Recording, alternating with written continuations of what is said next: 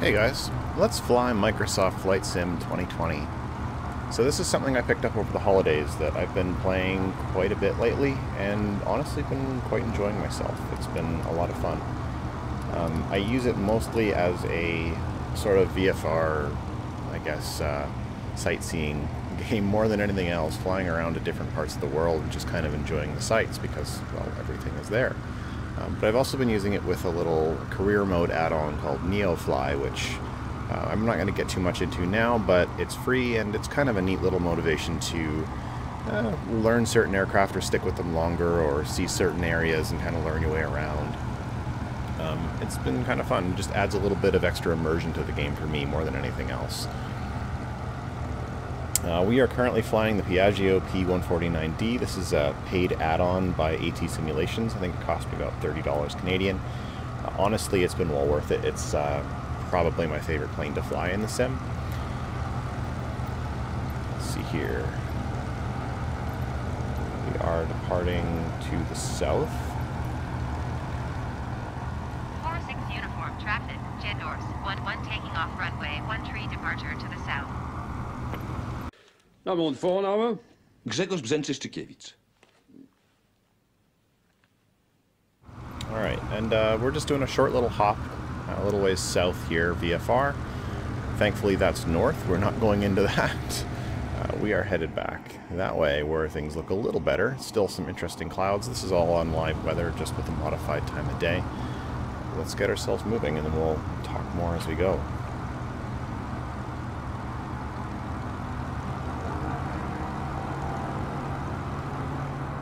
Really not much of a taxi. This is the whole short line here. So where we are currently is 460 Uniform, or Alpine Air Park. This is one of those places where the houses that you see off to the left, the buildings, I guess, are houses, and it's just people who live there, and the little taxiways off to the sides are their driveways. Lifestyles of the rich and famous, I suppose.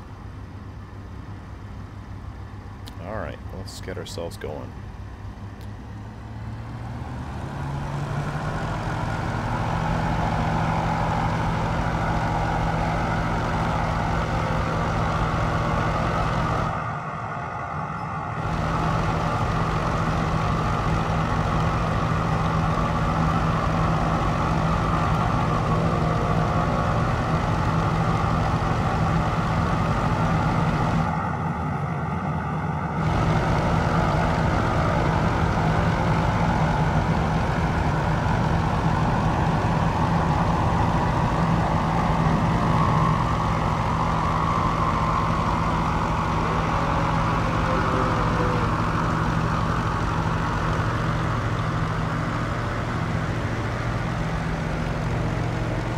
ourselves back climb tower.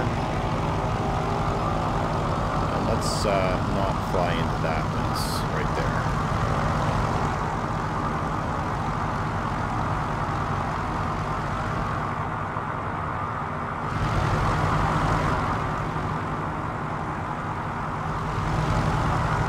I guess for the sake of the passengers, we could also close this.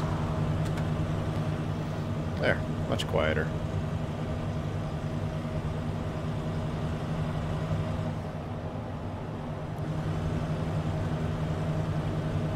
Alright, so uh, we are just basically on the border of Wyoming and Idaho. It's a really interesting area to fly. There's mountain ranges here, but we're kind of right at the edge of them. Um, to the west is Idaho and the exit from the mountains, and we can either go south and then west, or north and then west, and basically just follow roads all the way through. To the east and down that way, there's some mountain passes that'll take us to Jackson, um, we can head to a few other places around there, and if we want to go north, we get into the Grand Teton area and then to Yellowstone, I believe. It's all not really an area that I'm super familiar with in real life. However, much like playing American Truck Sim, um, flying around here and with NeoFly as a career mode add-on, it's been kind of motivating me to learn the area, and I just I do it by without even trying. Just kind of learn the area just by being here and flying to these airports a few times it's quite an interesting area, and it gives me a bit of an appreciation for places I haven't been. It gives me some idea of where I might like to visit one day, so it's been cool. So like I mentioned, this is all on live weather. I kind of uh, subscribe to the view that Mags has. If you watched any of his videos on Microsoft Flight Sim, he didn't do that many, but uh, he made a point of saying he always flies with live weather and then just adjusts the time of day so that it's bright outside so he can see, or not if he's doing IFR. But that's exactly what we've done here. So I've left it on live weather and just pushed the time of day back a little bit to sunset so that I can see and fly VFR um, and so that the video is you know a little more entertaining. While technically I can navigate a little bit in this plane, I do have uh, ADF, so I can find a non-directional beacon or NDB. That's over there, radio compass. There aren't any in the area. There are really very few nav aids, if any, in this region, so it's been entirely basically flying VFR, following roads for the most part, which has been interesting. You know, in, in DCS, and even in this game too, and in American Truck Sim, if you don't make an active effort to avoid it, the game will just kind of encourage you to follow a line. In Truck Sim, it's a red line. In this game, it's a magenta line. And it's all just, you know, stare at a screen and follow a line. And uh, I'm really enjoying more of the let's fly by visual landmarks and kind of learn the area, learn a way around. It's been interesting to do. So we're following a road down below me, and this kind of leads me into one of my complaints, I guess, about the game. The way it handles snow and winter in general.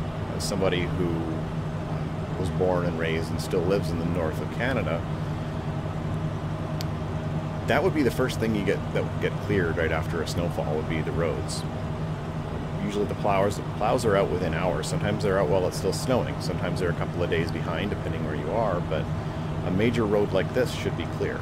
And if you adjust the weather settings yourself, you can, which is great by the way, manually adjusting weather settings on the fly, and you change the amount of snow on the ground, the roads are the first thing to be covered, which is just completely wrong. The roads are really the last thing to be covered because of all the traffic on them and because of what they're made of. They hold heat better than the surrounding ground. So they tend to be clear longer. They clear first after snowfall, and they would be a good, easy landmark to follow in the winter, in general. As you go further north, the roads get covered year-round. Even when they're plowed, they're still you know, mostly white. But at least they should be a lot easier than this. This looks like fresh snowfall everywhere, all the time. And it makes it really challenging to discern any detail. Like you can't see the little tiny roads unless you're looking right at them. They're slightly whiter shade, and that's about it. It makes it hard to follow roads when you're going places through the mountains or where roads aren't well defined. Often through those mountain passes, I've basically had to follow the, the cut line in the trees because I couldn't see the road itself, or look for cars that were just like driving through what looked like the middle of nowhere to kind of figure out where is my road that I'm following.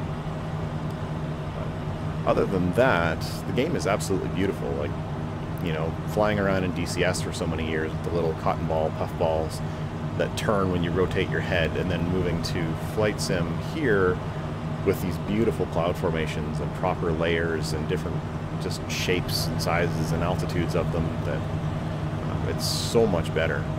You get days where you have these giant clouds that are basically touching the ground and you're just kind of flying through gaps in the clouds trying to find your route. And it's pretty cool. I've enjoyed that a lot.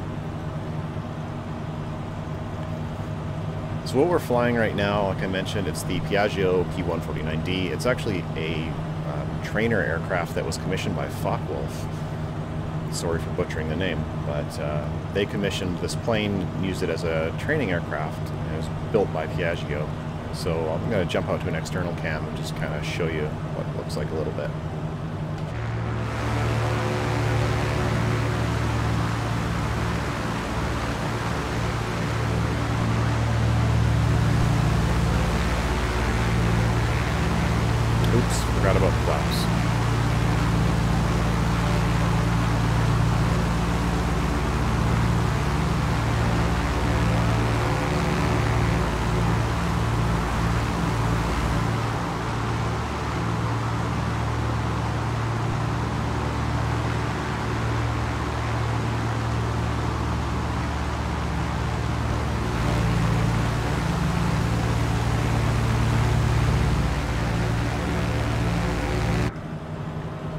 Is a cool airplane, and I'm quite happy that it has no GPS of any kind, like this is old 50s tech. And this is a nice compromise between what you normally find in the game in the stock aircraft and what I'm used to flying in DCS, which is you know, more military style. Um, yeah, it's, it's cool. I like it. If you're considering getting it, I would recommend it. So we got a nice little cloud formation here. So this is, you know, a little idea of what I mean. It's I'm following this road, but it goes right into this cloud formation, so I'm going to find my way around. Or I could fly right through it if I wanted to, but makes for some interesting flying sometimes. The weather has been interesting in this area. Oftentimes the airport where I departed from, which I've set up as my home base in Neofly, that's uh, Alpine Air Park, the weather there, because it's right on, uh, right on the, what's it called, the reservoir, forget the name of it off the top of my head, Palisades Reservoir. It's quite uh, cloudy as we saw over the water, and sometimes it can be blizzard conditions there and totally foggy in the valley and just impenetrable and impossible to get down to the airfield. And yet it's nice and clear when you go just a little ways south over here.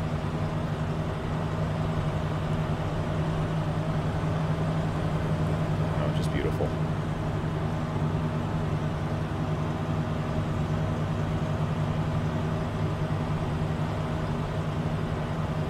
So there's only a couple of airfields down this way, and because we've got pretty clear conditions here, it shouldn't be too hard to spot them, as you can see in the distance already. Blinking lights from one of those airfields. That's the first one, and then we are landing at the second one at uh, KAFO. Kilo Alpha Foxtrot Oscar. Kilo, sorry, not Kilo.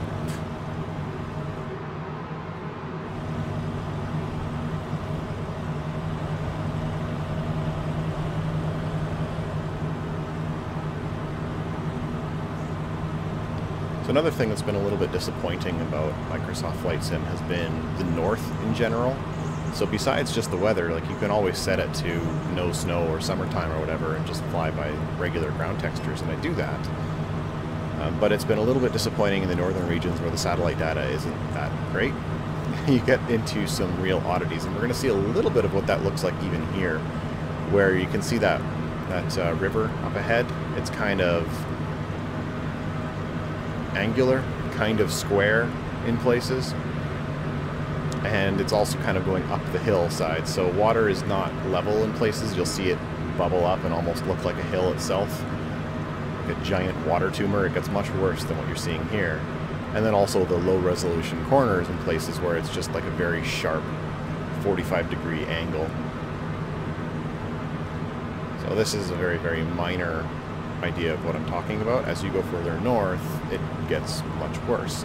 You'll also find places where bridges like this, which stand out, aren't there, and then the cars just drive through the water. Either they'll drive on the water, or they'll drive under the water, or they'll float in the air. You get lots of oddities with the data that they have for these regions, and that's kind of disappointing for me because I was really looking forward to flying in these really remote regions more than anything else. There's quite the cloud formation over there. That's pretty cool. Another thing is the zoom function. There is no analog zoom in Microsoft Flight Sim. I'm so used to having zoom on a thumb rotary for DCS where I can zoom in as much or as little as I want anytime, and I have absolute control over that axis. I just place the rotary where I want it. In this, there's only a zoom in and a zoom out button. So I've bound them to an encoder wheel on the throttle, which works okay, but I don't have fine control. And often it jumps more than I want, as you can kind of see here. I'm trying to zoom out to a normal amount, and it zooms out too much. The steps are too big. So it can be a challenge to get appropriate zoom level. Something I fight with a lot. Also having to switch between where it's bound here and where it's bound in DCS. It uh, throws my mind for a loop sometimes.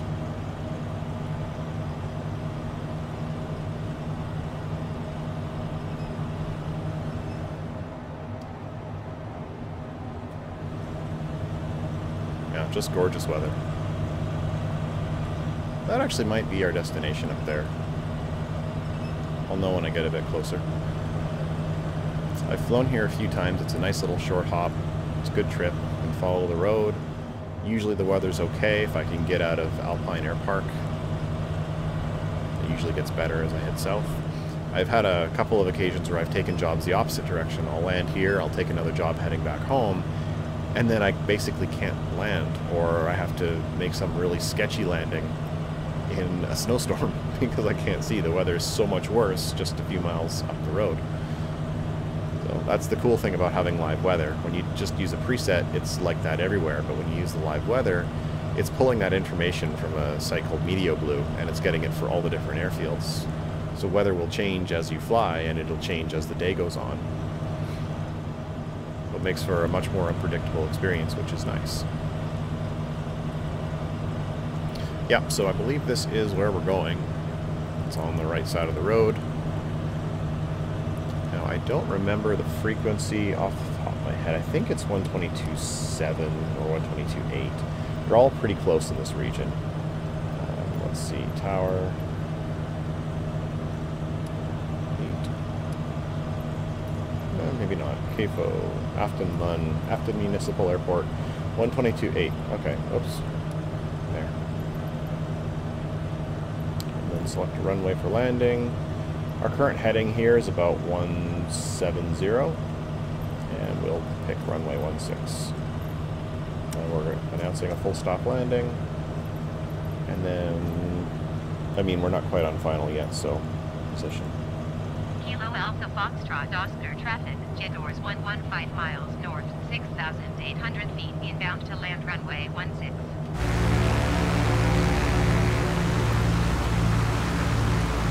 Both of these airports are uncontrolled. There's no tower at either one. And I'm not flying with that sim until uh, I'm a little more comfortable with this stuff. I'm, I'm a complete noob to the world of civil aviation, as uh, it should be fairly obvious.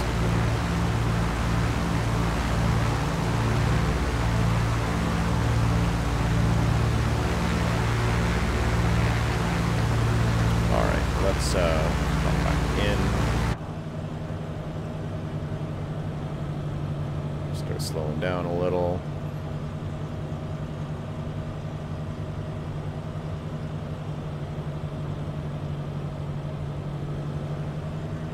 Actually, we're at a really good speed right now. Bring the RPM up for landing. Bring our gear down. Bring our flaps down. And then we can announce, I guess, we're on a long final here.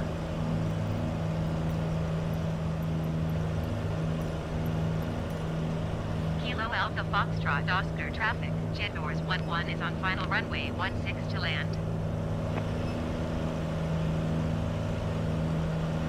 More power in here. Are still low, that's fine. We'll intercept the glide slope at some point and see if I can follow it down.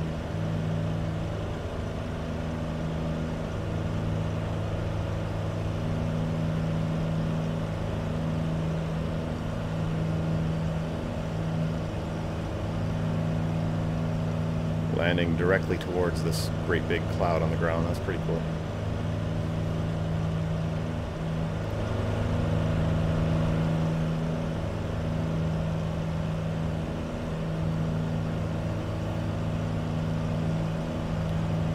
So another thing this game has is, oh, here we go. Starting to find my glide slope. Is uh, universal bindings. So no matter what you fly, the bindings are all the same. And for the fact that most of this game is like general aviation aircraft that all have very similar capabilities, similar buttons and switches and functions and options and all that stuff, it works okay. It's a little weird when you get into something like the Jet Trainer, the MB339, and so on, stuff that has anything unique to it, but it works okay. I don't mind it. The only thing I really like about it is that I can hop into any plane whether I've flown it before or not, and I don't have to spend 25 minutes binding controls like I do in DCS, even though it's always the same things for a lot of these controls. And I always use the same for pitch, roll, and yaw, and for thrust or whatever. Low.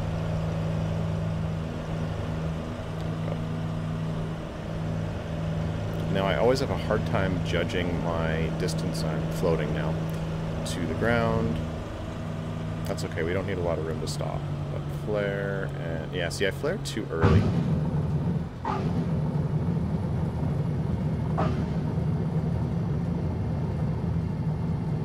And the landing sound for this airplane is loud, kind of no matter how you touch down. Always kind of startles me a little bit. But Neofly is kind of neat because you can take different kinds of missions. You can take passenger missions like I have now, or you can take cargo missions, uh, including some like sensitive cargo stuff. And in those ones, they'll rate your landing based on your feet per minute at touchdown. Like I'll see that in this one as well. Um, but if your landing is too rough, they'll penalize you and you won't get paid for the job because you broke all the cargo. So it's uh, it's kind of neat. It's a way to encourage you to fly gently. And here's a fun thing about Flight Sim is I can just fly right through this guy and not care. Which also scares the crap out of me when they appear on the runway.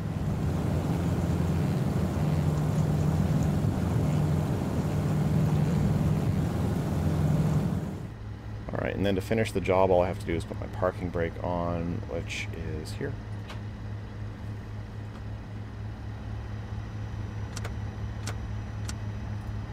I don't have to open the roof, but, you know, for the sake of immersion, it's kind of fun. Uh, Neofly also has other kinds of missions, like tourism ones, which are neat, where you have to pick people up and then fly around to some landmark fly around in circles around it and then take them back to where you came from, so it's not just an A to B. And they've got some drop missions and some bush flying ones where you have to land, you know, within two nautical miles of certain coordinates. It's uh, an, an interesting motivation to fly in some different ways rather than just A to B all the time.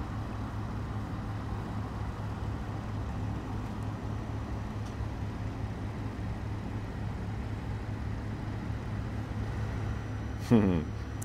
Doesn't look like it. Looks pretty empty in here. Alright, so uh, from here, it doesn't actually matter. Like, we don't have to set up Microsoft at all, uh, the Flight Sim game in any way, really, to match what we're doing, as long as we have the right amount of cargo or passengers on board to match the mission wants. It'll allow us to fly. So now in Neofly, I could go and pick myself another mission, and I could go from here to wherever there's a job that takes me somewhere. I can just keep going in this session or I can come back later and resume and it's uh, kind of a persistence layer, so it's neat. Anyway, that's uh, a first look at Microsoft Flight Sim from me. Let me know if this is something you want to see more of on the channel. I've been, like I said, flying it a lot, but I'm really not sure if it's something that belongs in the channel that you guys will enjoy or, or not it's a little different and it's uh, you know ostensibly not educational. I don't know enough about general aviation and civil flight sim to you know teach anything. So it would probably be videos much like this, little VFR hops from interesting places, maybe using Neofly, maybe not. Let me know what you guys think. If this is something you want to see, or if you'd like to see something like it, or if I should just stick to DCS for now. Alright, uh, I'll catch you guys next time.